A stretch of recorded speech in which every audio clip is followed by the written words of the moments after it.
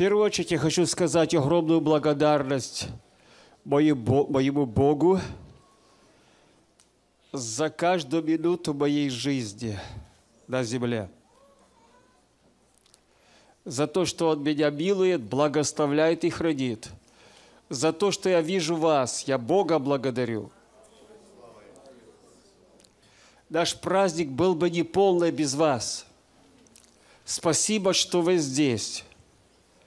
И я прошу об одном, присутствуйте здесь и духом, и душою, и телом. Пусть Бог благословит ваше сердце и восполнит ваши нужды. Еще раз хочу сказать с праздником вас. От души хочу сказать, что самое большое было зло, которое вошло в жизнь человека через грех, это была смерть. Но Христос, придя в этот мир, Он победил смерть. И сказал, смерть, Павел говорит, где твое жало?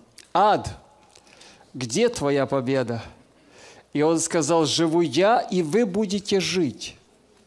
Жить будете мною, жить будете, подражая мне, потому что я живой Бог. Я оставил вам примеры, как человек должен действовать, жить и поступать. Я забочусь о тебе сегодня, потому что люблю каждого из вас – Поэтому, братья и сестры, сегодня пусть праздник придет в каждую судьбу и в каждую душу. Пусть радуются святые и прославляется имя Бога Живаго. В праздничный день я вам от души желаю.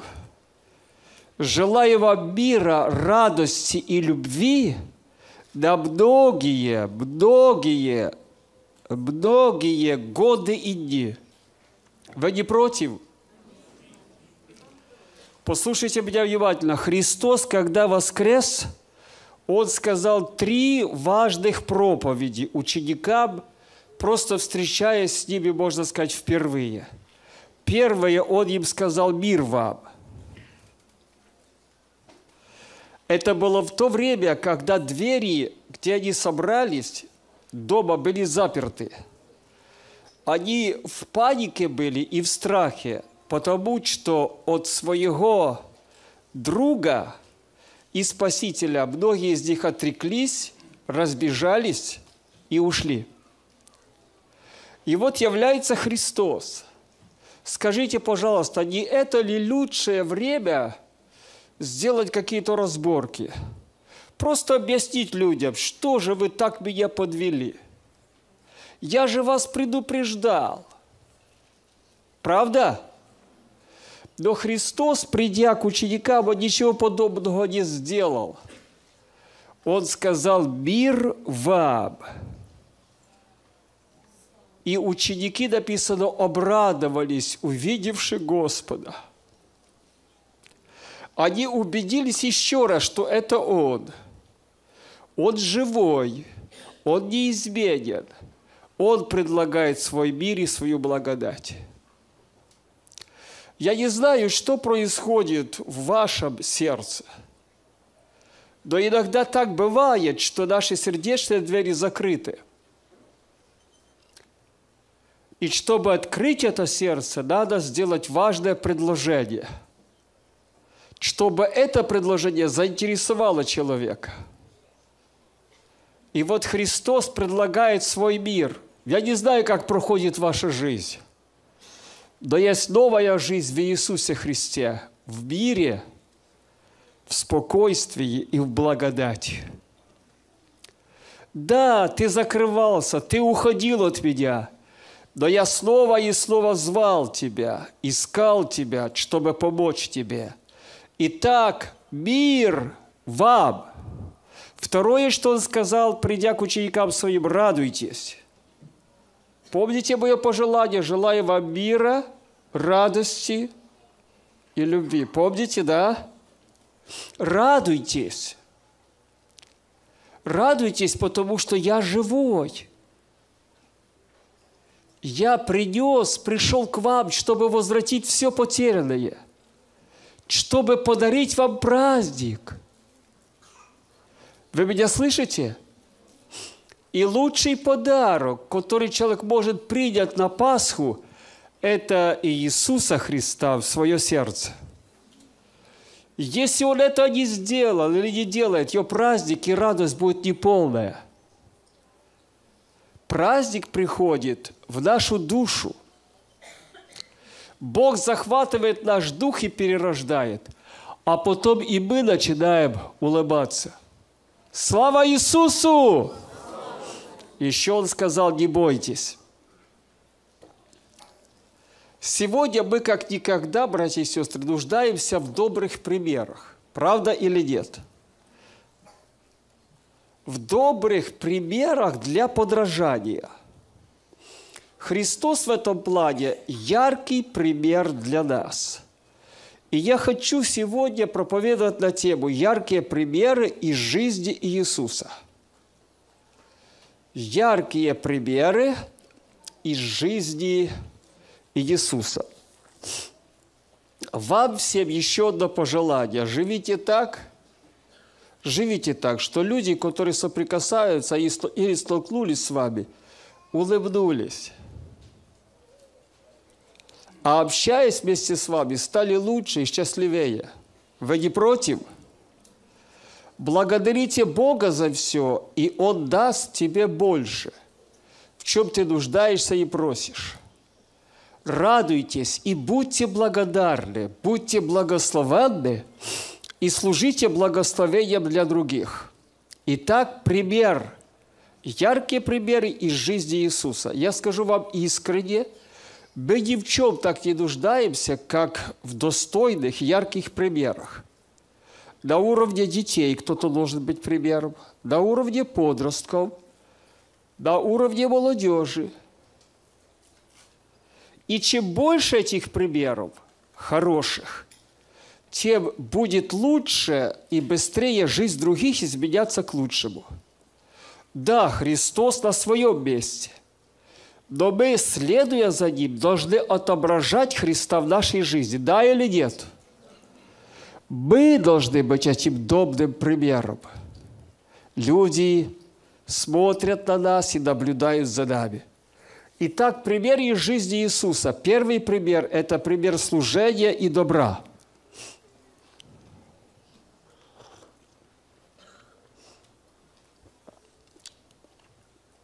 Библия говорит, что сделал Христос перед своими страданиями. Итак, если я Господь и Учитель, омыл ноги вам, то и вы должны омывать ноги друг другу. Почему я это читаю еще раз? Ибо я дал вам пример, чтобы вы делали то же, что сделал я вам. Понятно, да, друзья?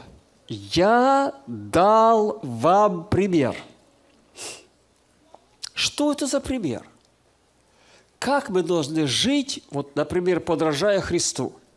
Христос, Он был больш, большим человеком.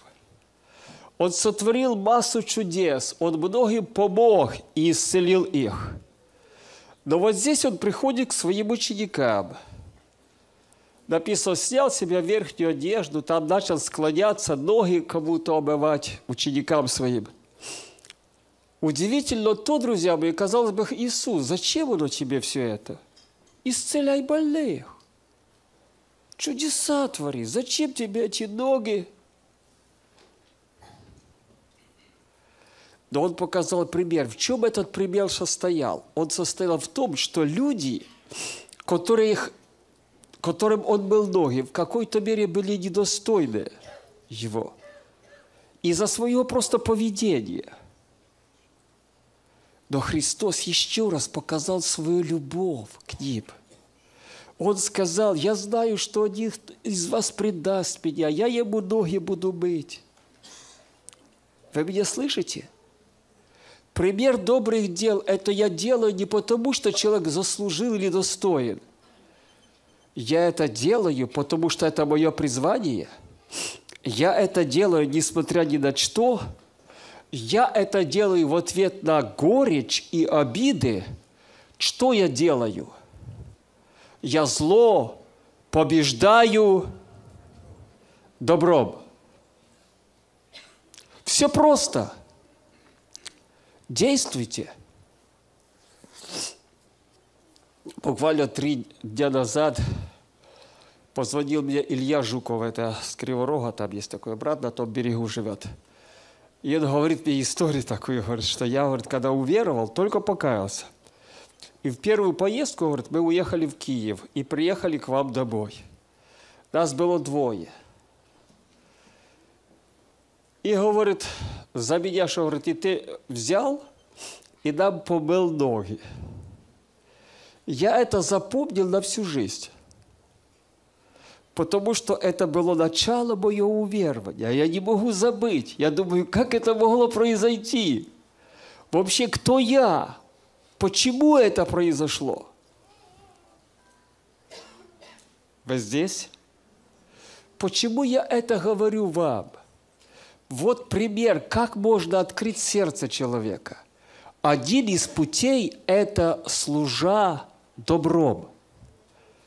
Иногда словом добрым, да, иногда делом. Бог не требует от тебя невозможного, правда? Не каждый может кому-то подарить 100 долларов, не каждый может тысячу, но ноги ты можешь. Делай то, что ты можешь делать. Будь добрым примером для других. Я рассказывал это, но я повторю – Наша группа, одна миссионерская, уехала на Украину, чтобы помочь маленькой церкви подняться. Пастор их собрал и сказал, вот здесь будет собрание у нас каждый день. Вы будете проповедовать, приглашайте, а люди будут вас слушать. Мы, говорит, три дня проповедовали, и нас уже проповеди закончились. Мы не были готовы к такой раскладке, к такому графику. И говорит, когда в очередной раз пришли люди, а это были старушки, бабушки после прополки со своих огородов пришли просто для общения. И мы общаемся. И говорит, удивительно то, что одному человеку пришло в голову мысль помыть им ноги. И они просто взяли водички, склонились эти грязные ноги в бабушек, помыли. Вы знаете, что произошло потом? В этом селении произошел взрыв – если до этого люди так приходили иногда, то потом они пошли по всему селению и начали проповедовать Евангелие другим и говорить о том, что к нам приехали американцы и омыли нам ноги. Американцы, вы еще здесь? Я говорю очень искренне. Почему важно служить? Это одна из немногих возможностей открыть сердце человека. И пока оно закрыто, ты туда ничего не положишь. Пусть гром гремит, человек ничего не услышит. Надо сердце открыть для Иисуса. Аллилуйя! Вы не против, чтобы каждый, кто приходит к вам, чтобы каждый, кто соприкасается с вами, уходя от вас, стал лучше и счастливее. Вы не против? Действуйте. Действуйте. Поднимать настроение надо. Убивать его легко. Тут все специалисты. Поднимать его надо, зажигать ободрять, утешать, а потом и обличение примут. Аллилуйя! Вот ярчайший пример, что сделал Христос. Подражайте Ему и будьте благословенны. Пример номер два. Пример в Иисусе. Пример долготерпения – Смотрите, Библия говорит, в пример злострадания и долготерпения возьмите братья мои пророков, которые говорили именем Господним. Дальше вы видите, что вот мы ублажаем тех, которые терпели. Вы слышали терпение Ива и видели конец от, от Господа. Ибо Господь весьма милосерд и сострадателен. Аминь или нет? Нет. Он показал пример долготерпения. Что это такое? Идя путем страданий, он все выдержал, все перенес и реагировал на отношение других к себе правильно. Где надо молчать, он молчал, где надо говорить, он говорил. Долготерпение. Поэтому Библия говорит, взирая на начальника и совершителя веры Иисуса, который вместо принадлежащей ему радости претерпел что? Крест. Пренебрегший посрамление его сел одесную престола Божия. Помыслите о претерпевшем – такое над собой поругание от грешников, чтобы вам не изнемочь и не ослабеть душами вашими. Если вам приходится периодически что-то претерпеть, терпеть трудно, терпеть не всегда получается, мыслите о нем. Не думай о том, что он сделал или она. Подумай, что сделал Христос. Подражай Ему – подражай Ему. Помните, что бы в жизни ни случилось, с нами Божья милость. Аминь. Силы зла не сгубят тех, кто Бога любит. Аллилуйя. Претерпел. Вот представьте себе, вы встретили такого человека, а он сидит так спокойно, съежился. Вы спрашиваете, что происходит? Терплю. Терплю. Терплю. Правда, вроде бы это подвиг, но в чем суть этого терпения, долгого терпения, в чем суть примера? Для меня очень яркий пример из жизни Иисуса – это то, когда закончилась вечеря с учениками последняя. Написано, они воспевшие пошли на гору Елеонскую. Обычно люди обращают внимание на молитвенную жизнь Иисуса, и это неплохо. Но я здесь, чтобы сказать вам, что они пели.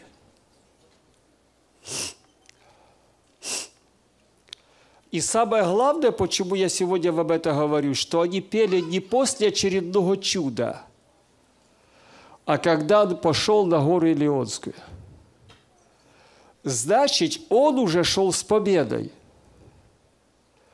Потому что радость – это предвестник настоящих и будущих побед. Суть не в том, с чем ты соприкоснешься после собрания сегодня или завтра, а суть в том, в каком состоянии ты эту проблему встретишь. Аллилуйя! Аллилуйя! И вот здесь Христос поднимает своих харистов и говорит, у меня новый этап в моей жизни.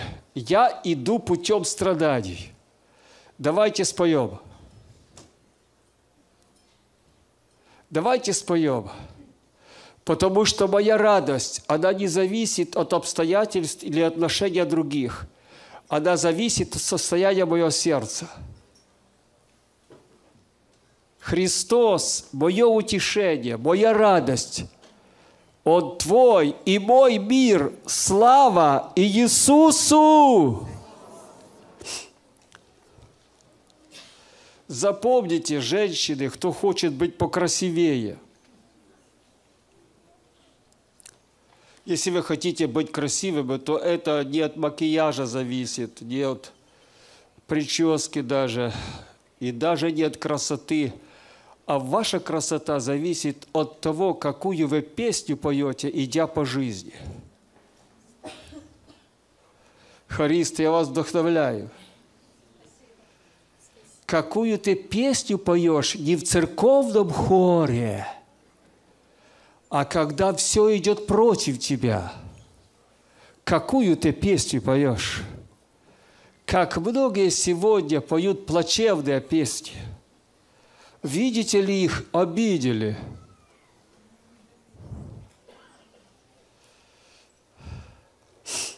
У нас недавно был праздник Господу. И вы знаете, что удивительно, так бывает иногда. Вот пригласил человека, он не пришел. И у каждого будет причина. Не пригласил, он обиделся. Что делать?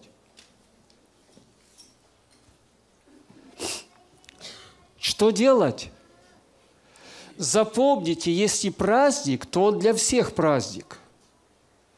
Только не все празднуют только потому, что не имеют правильного отношения к празднику. Если праздник пришел, то независимо, ты там присутствуешь или отсутствуешь, просто радуйся. Пой, и тебя обязательно пригласят в следующий раз –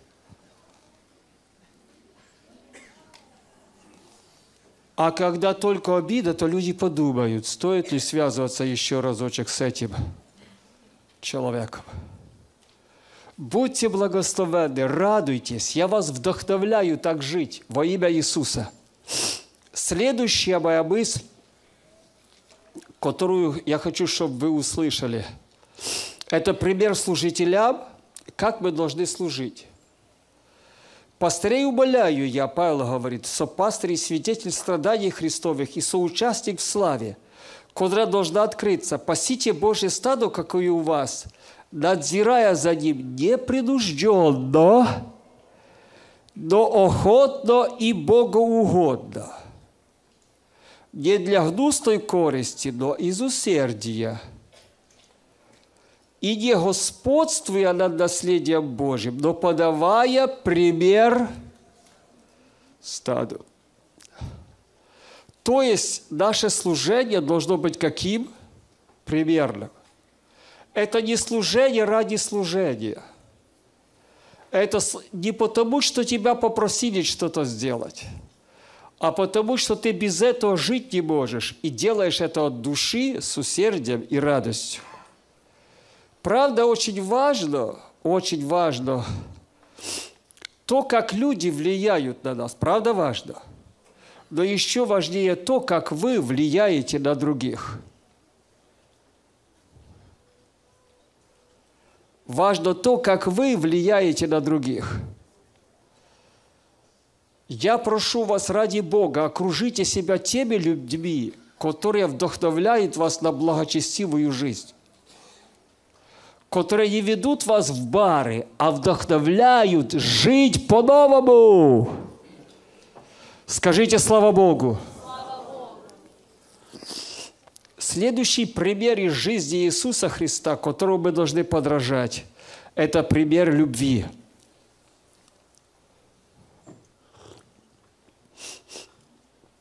Послушайте, ибо так возлюбил Бог мир, что отдал – Сина Своего, единородного, самое дорогое, что у Него было, дабы всякий верующий в Него не погиб, но имел жизнь вечную. Живу я, и вы будете жить. Это самый дорогой подарок, который был предложен человеку, живущему на земле. И когда человек не принимает это, он объединяет свою жизнь делая подобные выборы, он просто несчастен. Но слава Богу, что для нас есть всех надежда. И наша надежда в ком? В Иисусе Христе. Скажите слава Богу. Смотрите, я вам прос, прос, объясняю пример любви Иисуса. Вы помните вот эту последнюю вечерю – вы помните, что среди двенадцати был один предатель, как его зовут? Иуда. Вот послушайте, что Бог сделал для Иуды, зная то, что он предатель. И когда не ели, сказал, истинно говорю вам, один из вас предаст меня. Когда это сказал, мне хочется кричать, Иуда, ты здесь? Это твой шанс. Это любовь Бога к тебе. Один из вас предаст меня. Все ученики встревожены, не я ли Господи? И, казалось бы, Иуда это повторяет, хотя знает, кто он есть. Один из вас предаст меня – Как это ужасно звучит. Иуда, очнись. Да, я понимаю, что ты взял деньги, да ты хочешь заработать, очнись. Смотрите, что дальше было. Они весьма опечалились и начали говорить ему, каждый из них, не я ли Господи? Он же сказал в ответ, опустивший со мной руку в блюдо, этот предаст меня. То есть, что Христос сделал? Говорит, Иуда, еще раз шанс даю тебе. Я не называю твое имени. Я не выявляю тебя при толпе как предателя, но я тебе даю шанс и возможность измениться. Как? Опустивший руку со мной в блюдо, тот предаст меня. Впрочем, Сын Человеческий идет, как написано у него, но горе тому человеку, которым Сын Человеческий предается. Лучше бы этому человеку и что?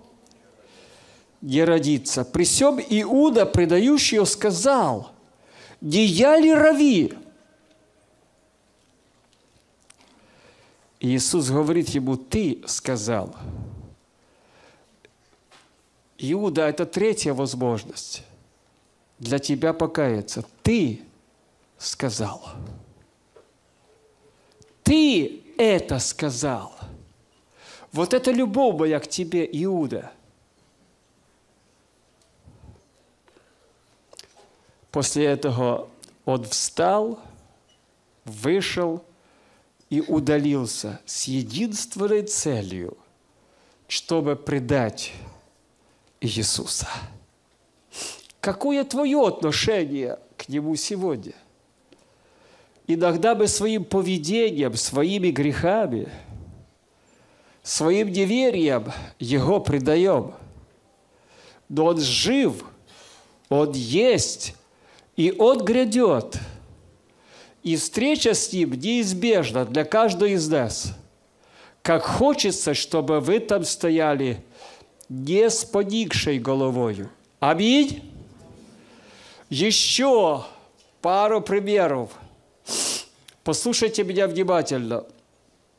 Пример будущим нечестивцам. Настоящим и будущим. Какой? Послушайте. «Ибо если не пощадил Господь первого мира, но в восьми душах сохранил семейство Ноя, проповедника правды, когда навел потоп на мир нечестивых». Послушайте дальше. И если города Содомские и Гоморские осудив на истребление, превратил в пепел, показал пример будущим нечестивцам, а праведно Лота, утомленного между людьми, неисто развратными, избавил. Обратите внимание на этот пример – человека, который просто не примирен с Богом, ожидает суд. И этот суд будет справедливым. Важно все делать вовремя. Важно вовремя свою жизнь приводить в порядок. Вот смотрите, как Содом и Гомора и окрестные города, подобно им блудодевствовавшие и ходившие за иною плотью – подверглись казни огня вечного. Поставлены нам что? В пример. Точно так будет с, этими мечтателями, которые скверняют плоть,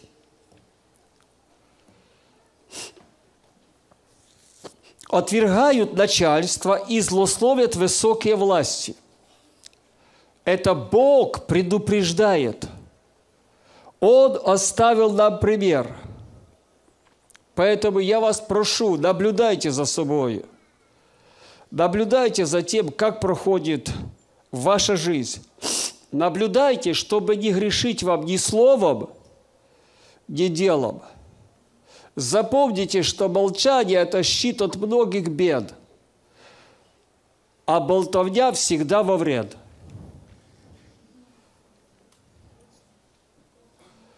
Кажется, язык вот в твоем рту, он очень мал, правда? Но сколько жизней он сломал.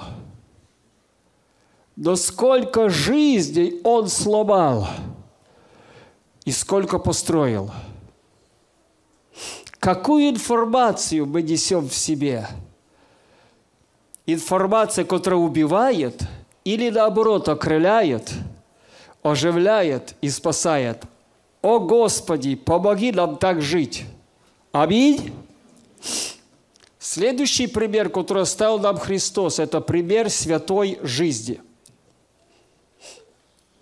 Послушайте, как послушные дети, не сообразуйтесь с прежними похотями, бывшими в неведении вашем. Но по примеру, скажите, по примеру, но по примеру призвавшего вас святого, и сами будьте святы во всех поступках ваших. Ибо написано, будьте святы, потому что я свят. Запомните, у вас вряд ли получится жить святой жизнью, если вас этому научили или вас об этом просят. Трудно получается отвечать на эти приглашения. Но все изменится, когда вы любите Иисуса. Когда вы любите, для любимого ничего не жалко – когда вы любите, для любимого всегда найдется время. И когда вы любите его, а он какой? Святой, то вы будете подражать ему. Иначе грехами своими мы приносим ему боль. Я не могу причинять боль, я не должен это делать тому, кого я люблю. Так или нет? Ответь ему взаимностью, твоей любовью, на его любовь. И ваша жизнь совершенно изменится. Какова моя жизнь? Как ее можно проверить? Один из лучших тестов, как можно проверить свою жизнь, посмотрите на человека, что он делает, когда у него есть свободное время – и вы сразу поймете, что это за христианин. Да, мы заняты, у нас мало времени, но обращайте внимание, что вы делаете, когда вы свободны. Даже если пять минут в течение суток вы будете делать то, к чему вы привязаны и что вы любите. Господь, помоги нам жить во всем, подражая Тебе. Наше христианство – это отображать Христа, Его славу, Его характер. И если Христа у нас не видно, наше христианство очень что? Слабое. Наша духовность – это не только молитвы даже, и не только чтение Библии, но нас всех интересует, как христиан, просто прощение, уважение. Правда? конце концов, порядочность, любовь – это и есть истинное христианство. Аллилуйя! Каков Христос, таковы и Христовы. Он оставил нам пример. Подражайте Ему, и у вас получится. Он здесь, чтобы помочь тебе. Последний пример – это пример спасения – Это седьмой момент.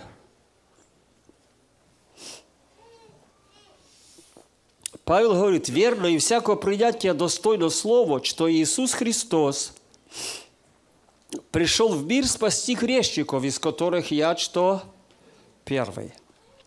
И дальше Павел говорит, но для того я и помилован, чтобы Христос во мне первым показал все долготерпение и пример – Скажите, и пример.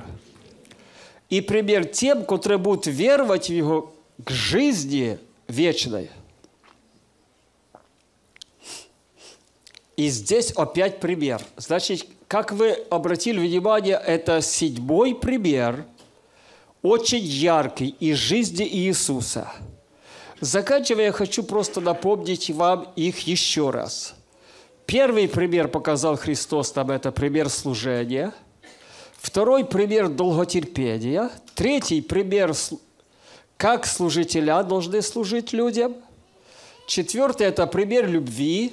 Пятый – это пример будущий, будущим нечестивцам.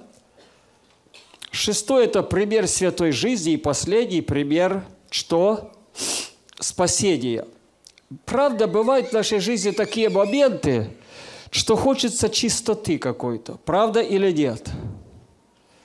И когда приходит этот голод по святости, нас просто захватывает это настолько, что нам становится как-то трудно, невыносимо. И мы ищем путей, чтобы как-то разобраться в себе, просто удалить всякую фальшь и в отношениях, и в своем совершенстве, и просто быть тем, кем, кем ты есть по сути. Правда такое бывает? Хочется выбрать как-то с этого порочного круга, и мы обращаемся к Богу. И хорошо, если мы это делаем. И когда приходит вот это озарение, нас посещает радость о прекрасном. Мы начинаем приближаться к Богу, переживать Его. Запомните, исцеляющая печаль ради Бога сокрушает человека, и человек начинает каяться. Сокрушающая благодать – это Его любовь к нам, это то, что сделал для меня лично Христос.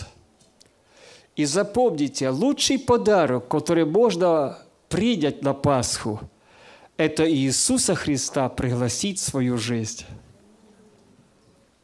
Лучшего подарка нет. Не имеет значения, сколько вы их получили в вашей жизни. Но это лучшее, что Бог сделал для человека, чтобы помочь, возрадовать, спасти и благословить. И сегодня вопрос как бы для нас номер один. Какое мое отношение к Иисусу? Давид, видя свою греховность, он молился так, «Господи, Многократно омой меня от беззакония моего, и от греха моего очисти меня, ибо беззаконие мое я создаю, и грех мой всегда предо мною. Запомните, что новый день – это еще одна возможность или шанс изменить свою жизнь к лучшему. И Библия говорит, сегодня время благоприятное, сегодня день спасения – то есть ты не знаешь, придет ли завтра в твою жизнь и судьбу. Важно не опоздать. Важно все сделать хорошо. Важно все сделать вовремя. Поэтому не упускай эту возможность. Не, не, не забывайте, что Бог есть тот, который действительно прощает наши беззакония. И сегодня просто совершите достойный плод покаяния. Это вас приблизит к Богу, это вас возрадует. Это изменит вашу жизнь и вашу судьбу. Вопрос номер один, который в свое время задал Пилат, отдавая Христа на распятие. Он сказал, я чувствую, что он невиновен. Что же я сделаю с Иисусом, называемым Христом? Да, Он воскрес. Да, сегодня Пасха. Но какое мое отношение к Христу? Именно ответ на этот вопрос определит твою судьбу в будущем. Определит твою судьбу. И самое страшное в жизни – безнадежно опоздать. Сейчас мы встанем для молитвы – Музыканты, хористы приготовятся петь. А мы будем свое сердце открывать шире для Иисуса, чтобы действительно Он начатую работу в каждом из нас закончил до полной победы. Аминь. И изменил нашу жизнь так, как может это сделать только Христос. И если вы чувствуете, что это ваш шанс, ваш день, то придите ко Христу сегодня. Сделайте это не для меня, для себя сделайте. Это лучшее, что ты можешь сделать сегодня. Еще раз, Многое ты не успеешь, но это лучшее, что ты можешь сделать сейчас. И если вы никогда не приглашали Христа в свое сердце, чтобы Он изменил вашу жизнь, если вы не принимали еще этот драгоценный подарок, который пришел к нам с небес, Бог не предлагает тебе ненужных вещей, но любя нас, Он предлагает тебе то, что необходимо тебе прямо сейчас –